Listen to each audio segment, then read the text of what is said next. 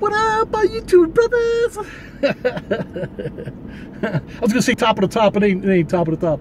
Uh, happy Memorial Day, man. Yeah, woohoo, woohoo! I'm back, baby. This is the first day, really, that uh, I could actually.